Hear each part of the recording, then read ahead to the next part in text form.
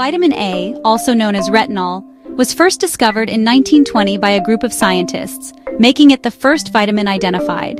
Initially named fat-soluble A factor, this essential nutrient plays a vital role in many bodily functions. Vitamin A comes in two main forms, the active form, retinol, and provitamin A, also known as carotene, which our body converts into vitamin A. Retinol is found in animal products, while provitamin A is abundant in plants like carrots and spinach. Vitamin A is essential for vision. It helps prevent night blindness and supports overall eye health. Immunity. It strengthens the body's defense against infections. Skin and hair health. It promotes healthy skin and hair, fighting aging signs. Bone development. It contributes to strong bones and teeth.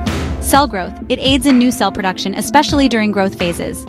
You can find vitamin A in foods like animal sources, fish liver oil, beef liver, butter, egg yolks, plant sources, carrots, spinach, sweet potatoes, pumpkins.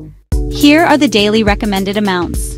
Infants need 400 to 500 micrograms. Children should have 300 to 600 micrograms. Adults require 700 to 900 micrograms. During pregnancy, intake should be carefully managed as excessive amounts may harm fetal development. A lack of vitamin A can lead to night blindness, dry skin, weakened immunity, and increased risk of infections. Excessive vitamin A intake can cause symptoms like nausea, headaches, fatigue, and liver problems. Pregnant women should be especially cautious to avoid excess retinol. Vitamin A works best with vitamin E and zinc, helping the body absorb and use these nutrients efficiently. If your body lacks vitamin E, vitamin A won't be absorbed well, so it's important to include both in your diet. Want to know more about how to balance your vitamins for optimal health? Be sure to like, subscribe, and hit the notification bell so you don't miss our next video on essential nutrients.